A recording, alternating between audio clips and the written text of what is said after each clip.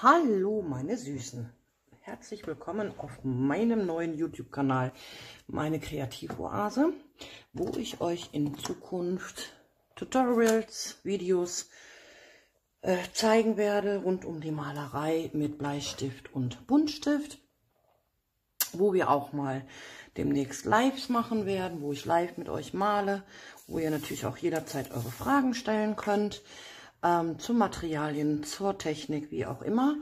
Ähm, ich werde euch auch kleinere Tutorials einstellen, wie man was malen kann. Ich bin, gleich vorab gesagt, kein Profi.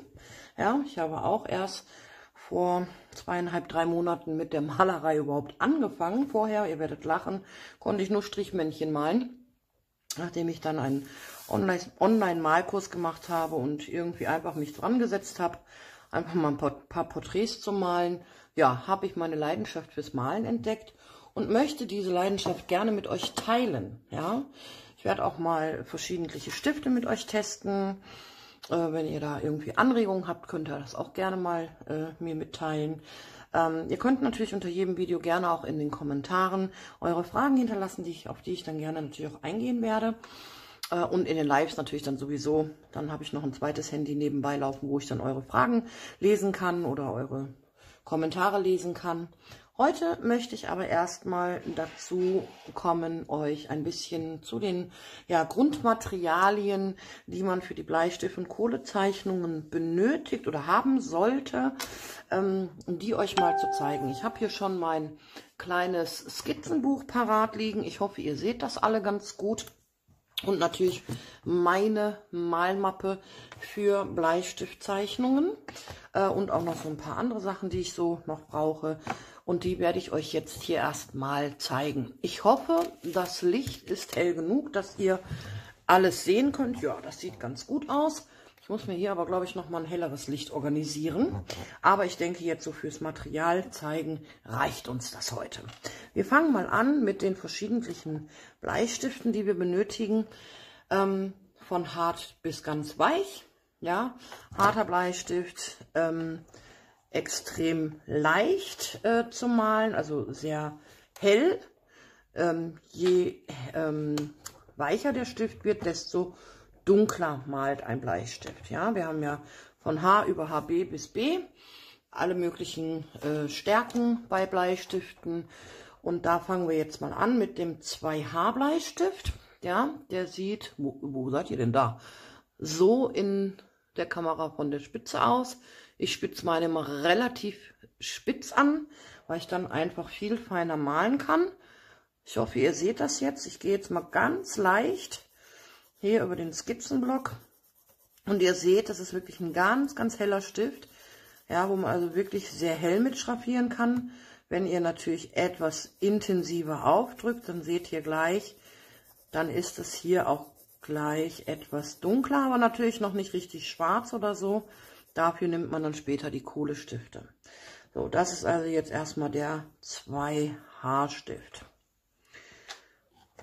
Damit male ich auch gerne schon mal vor oder skizziere damit was. Wobei ich dafür am liebsten sogar einen Druckbleistift nehme, zu dem kommen wir später noch. Dann haben wir den 4H Bleistift. Der sieht von der Spitze so aus. Und der malt dann, wie ihr seht, schon etwas dunkler, wenn ich leicht aufdrücke. Und wenn ich dann fester aufdrücke, seht ihr auch gleich, der ist schon etwas dunkler wie der 2H. Das ist der 4H Bleistift. Als nächstes haben wir dann den nächsten Stift.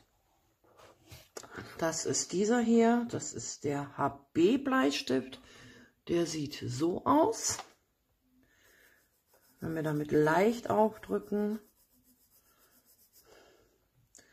und fester aufdrücken, sehen wir auch da direkten Unterschied zum 2H und 4H. Das ist der HB Bleistift. Ja, also schon dunkler. Kann man also schon wieder ganz dunklere Schraffierungen malen als mit den anderen. Dann haben wir den 2B Stift. Da seht ihr schon die Mine. Ja, ist ganz anders schon wieder wie bei dem 2H, 4H und HB. Wenn wir damit leicht aufdrücken, seht ihr, ist der schon viel, viel dunkler als die anderen drei. Wenn wir damit fester aufdrücken, kommen wir schon fast ins Schwarz. Was heißt Schwarz? Schwarz kriegen wir mit einem Bleistift eher nicht hin, ja, weil es ein Graphit ist. Die sind ja eher gräulich. Dafür müsste man dann eher jetzt mit einer Kohle arbeiten, aber da kommen wir gleich zu. Also das ist der 2B. Dann haben wir als nächstes den 6B. Auch da seht ihr die Spitze schon viel dicker und dementsprechend auch weicher. Man sieht schon hier auf der Haut, kann man damit schon malen, was wir mit einem 2H zum Beispiel nicht könnten. Hier leicht mit aufdrücken, seht ihr schon auch hier einen Unterschied zu den anderen Bleistiften. Also damit kann man jetzt zum Beispiel wirklich schon am Auge sehr gut schraffieren, um dort Schatten äh, hinzuprojizieren oder am Nasenflügel bei einem Porträt, um den Mund herum, eine Lippe, um die dunklen Stellen in einer Lippe hervorzuheben. Das ist der 6B. Und dann kommen wir zum nächst weicheren. Das ist so der letztweichere, den ich benutze. Das ist der 12B. Seht ihr auch schon, der hat schon fast so eine Kohlespitze. Und wenn wir mit dem ganz leicht aufdrücken, seht ihr auch hier sind wir schon ziemlich, ziemlich dunkel. Und wenn wir damit fester aufdrücken, kommen wir schon im Kohlestift sehr, sehr nahe. Also damit können wir noch ähm, dunklere Schattierungen machen als mit dem 6B. Und jetzt kommen wir mal zu dem Kohlegraphitstift. Das ist ein 3B. Der sieht so aus. Und damit können wir natürlich schon sehr, sehr dunkel malen. Beim leichten Aufdruck seht ihr hier, wie dunkel wir es schon sind. Und wenn wir hier richtig feste aufdrücken, kommen wir also wirklich ins Schwarz hinein, ja. Das ist ein Kohlestift. Kann man auch nicht so gut mit schreiben, außer man schreibt direkt mit der Stiftspitze in 3B. Den nutze ich eigentlich für Augen, für Pupillen, äh, für die ganz dunklen Stellen im, im Mund, ja, oder wenn ich jetzt die Nasenlöcher in einem Porträt male, male ich das meistens mit einem Kohlestift. Vorzeichnen tue ich eigentlich ganz gern mit dem Faber-Castell Gripmatic in 0,7. Das ist ein äh, Druckbleistift. Ja, der hat eine ganz, ganz feine Mine. Damit kann man wirklich ganz feine Linien, da mache ich auch gerne, wenn ich jetzt Bleistiftzeichnungen mache, Haare mit. Ja, weil ich hier wirklich sehr, sehr präzise und wenn ich ihn drehe, auch dunkler malen kann. Damit gehe ich hin. Oder wenn ich jetzt zum Beispiel, ich mache es jetzt mal freihand, ich bin nicht so der Freihandzeichner, muss ich dazu sagen. Aber da komme ich gleich nochmal später zu.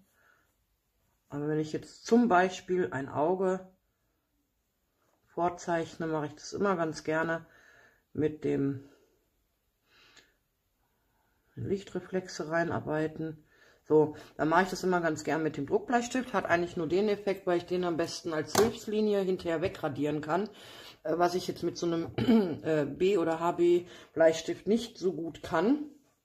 Die Druckbleistifte lassen sich besser, finde ich, mit einem ähm, Knetradiergummi hinterher wegradieren, bevor ich dann ausarbeite. Wobei ich das eigentlich nur mache, das Wegradieren, wenn ich jetzt mit Buntstiften arbeite. Wenn ich jetzt mit Bleistift arbeite, brauche ich sie nicht wegradieren, weil ich ja dann sowieso in Grau- und Schwarztönen arbeite, dann sieht man es nicht. Aber wenn ich jetzt zum Beispiel hier mit einem Buntstift malen würde, würde man immer die Schrei ähm, Bleistiftlinien sehen. Und dann gehe ich hier mit von Faber-Castell, mit dem Knetradiergummi, ähm, die mag ich am liebsten, die in den Schachteln von Faber-Castell. Und dann gehe ich ganz leicht übers Papier.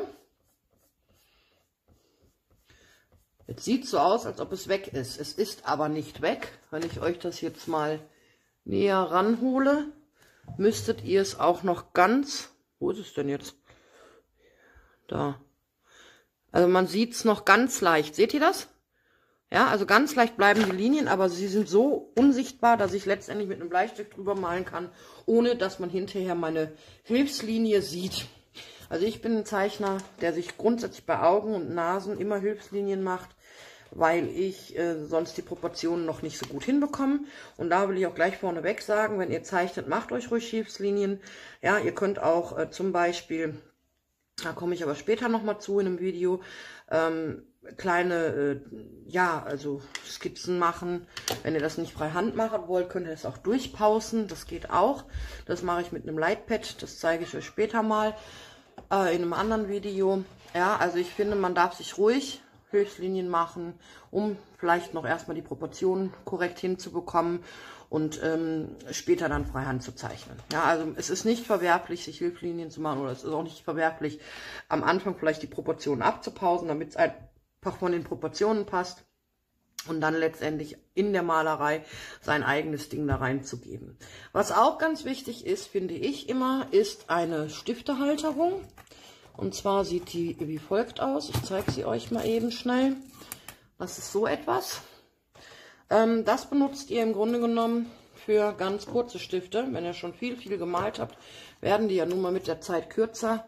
Dann macht ihr euch in die Stiftehalterung euren kleinen Stift rein und könnt ihn somit viel, viel länger benutzen. Manchmal nehme ich ihn auch jetzt schon, weil ich dann einfach einen anderen Druck habe. Ja, wenn ich mit einer Stifteverlängerung arbeite, habe ich einen leichteren Druck, als wenn ich zum Beispiel direkt mit dem Stift in der Hand male. Das muss aber jeder für sich selber rausfinden. Ja, ob er mit der Stiftehalterung erst arbeitet, wenn der Stift zu kurz geworden ist oder eben halt, um einfach den Stift zu verlängern und einen anderen Schwung beim Malen zu bekommen. Auch immer ganz wichtig, kriegt er auch in jedem handelsüblichen Bastelgeschäft äh, zu kaufen, die Dinger. Und äh, finde ich auch ganz, ganz wichtig, muss man einfach haben. Was man auch natürlich haben muss, ist, wie gesagt, das Knetradiergummi, was ich euch gerade gesagt habe. Ähm, dann vielleicht noch einen normalen Radiergummi, wobei ich den eher selten benutze. Ich arbeite eigentlich fast nur noch mit einem Knetradiergummi. Ähm, oder mit so einem Radierstift. Den habe ich jetzt bei meinem Malset dabei gehabt, wo ich den Malkurs gemacht habe. Den gibt es aber auch von der Firma Tombow zum Beispiel. Ja, da könnt ihr dann ganz feine ähm, Radierungen mit vornehmen. Zum Beispiel, wenn ihr jetzt sagt, ich will jetzt zum Beispiel ins Haar hellere Stellen radieren. Na, seht ihr hier bei den ähm, B-Stiften ist es schon fast nicht mehr machbar. Aber jetzt zum Beispiel bei einem Haarstift könnt ihr dann ne, zum Beispiel feine Linien da reinziehen mit einem Radierer, um einfach ähm, ja, noch ähm, Highlights zu setzen in einer Bleistiftzeichnung. Oder ihr könnt auch ganz einfach damit wegradieren, wobei das eigentlich nur bei den helleren Stiften geht, also bei den Haarstiften. Bei den äh, B-Stiften wird es dann schon schwierig.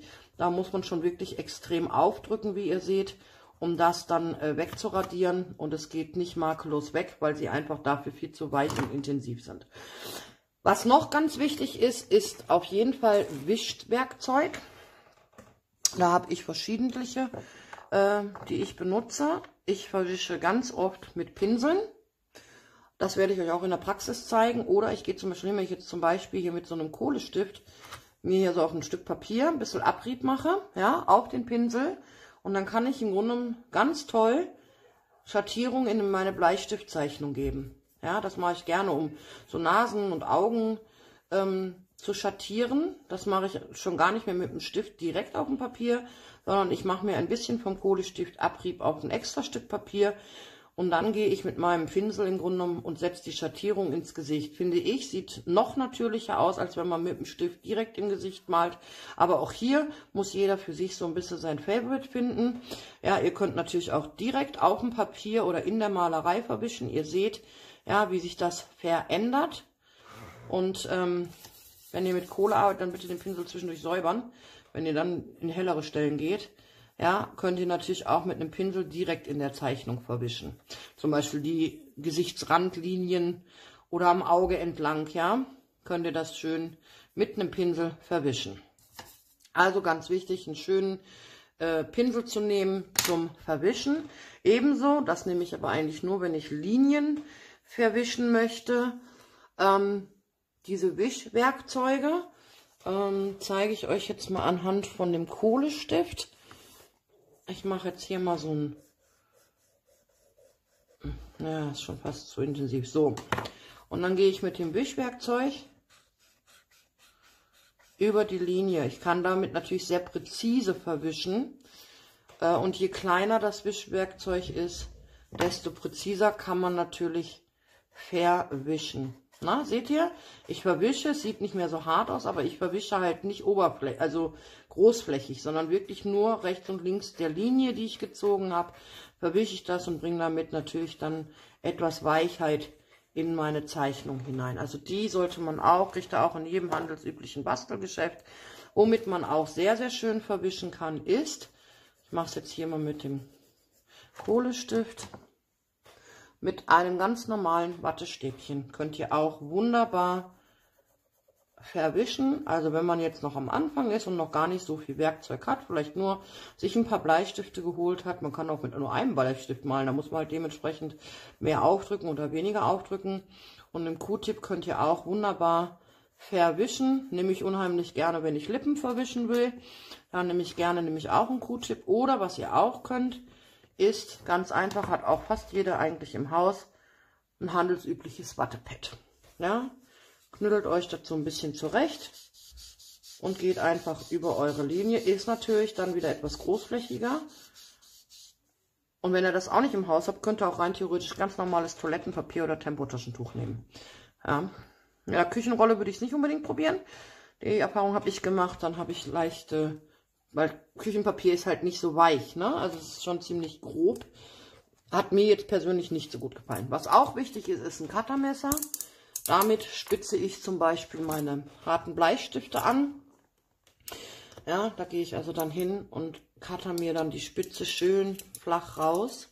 Und wenn ihr das macht mit dem Cuttermesser, dann solltet ihr euch auch so einen Schleifblock holen. Denn damit könnt ihr wunderbar euch eine super mega schöne Spitze feilen. Ja, dann habt ihr wirklich eine ganz, ganz feine Spitze an eurem Bleistift, mit der ihr dann wieder super malen könnt. Ja, da könnt ihr dann wieder ganz, ganz fein eure Linien ziehen. Zum Beispiel, wenn man Haare macht mit einem äh, 2H-Stift zum Beispiel, dann spitzt euch den ganz, ganz spitz an und dann könnt ihr wunderbar feine Linien ziehen.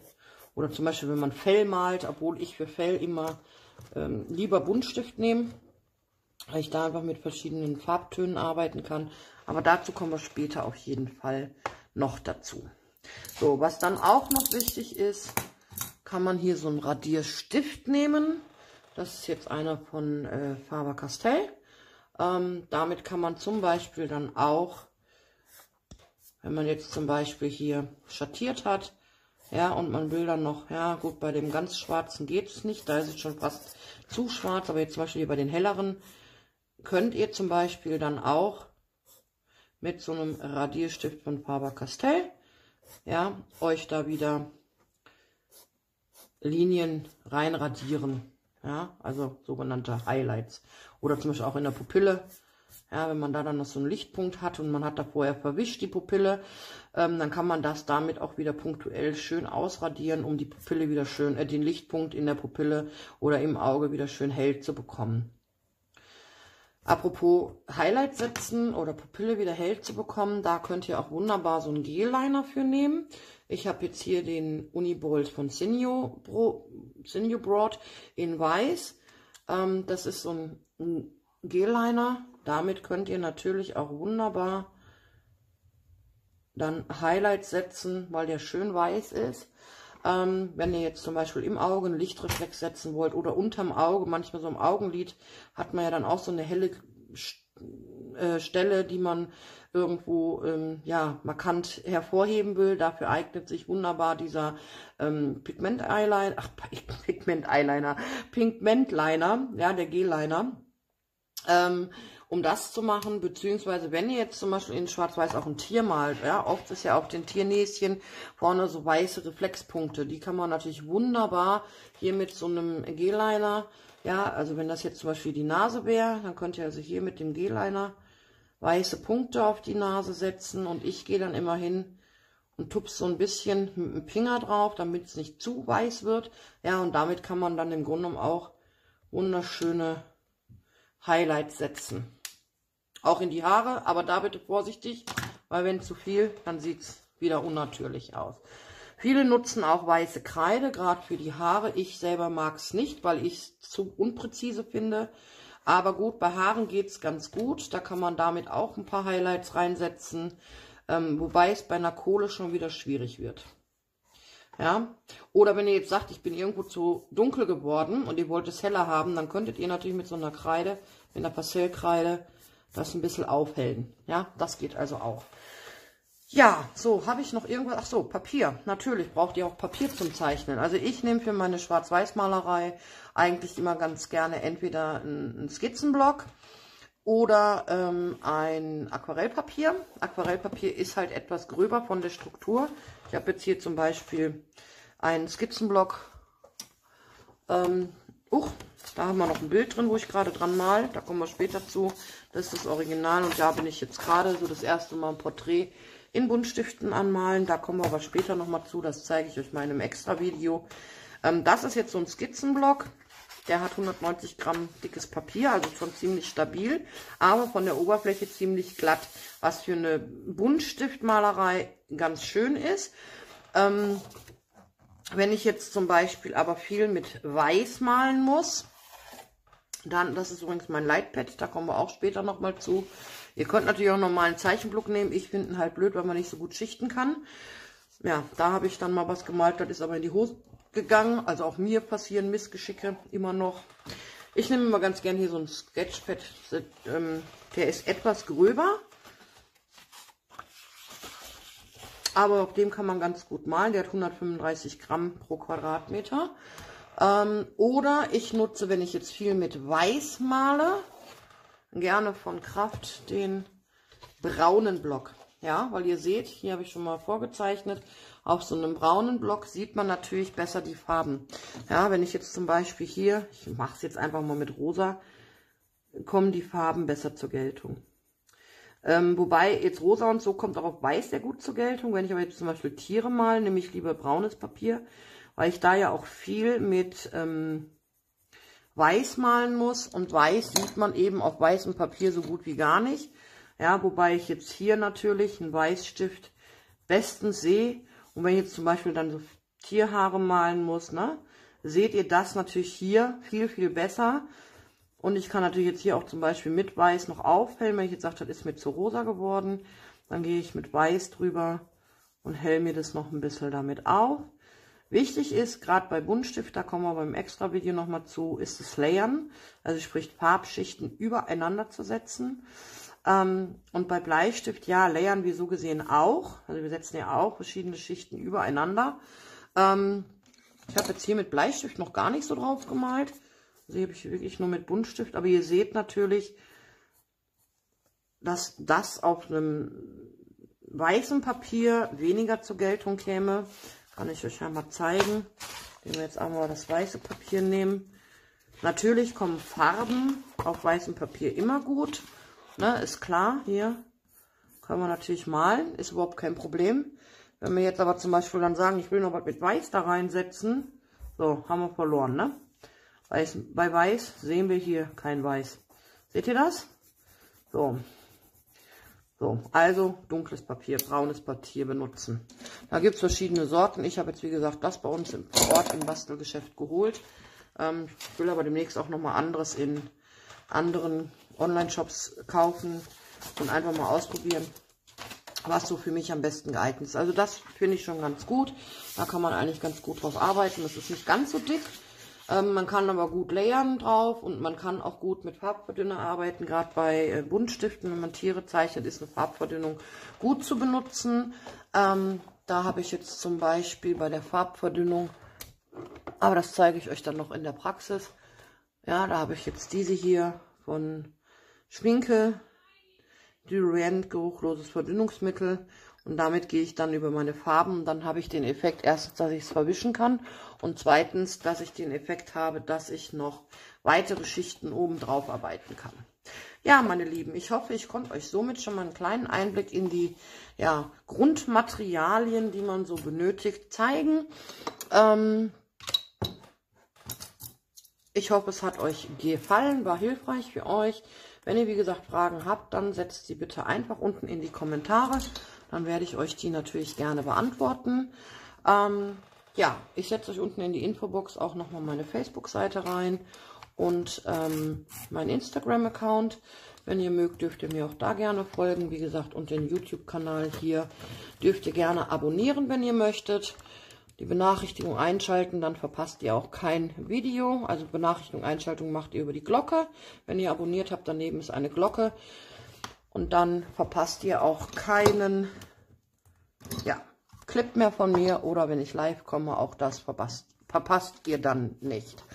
Ja, meine Lieben, lasst mir gerne, wenn ihr wollt, ein Like da, wenn ihr Leute kennt, die auch gerne malen oder malen lernen wollen. Wie gesagt, ich bin kein Profi, ja, auch ich bin noch mehr oder weniger blutiger Anfänger, obwohl ich mittlerweile sagen muss, dass mir viele meiner Bilder schon sehr, sehr gut gefallen. Ähm, aber ich finde gerade vielleicht auch als Anfänger so einen YouTube-Kanal zu machen und auch gleich von anfänglichen Missgeschicken, die man hat oder Fehlern, die man gemacht hat, kann ja auch jemand anders gerne noch mitlernen. Ich sag bis zum nächsten Mal, meine Lieben. Eure Ivi.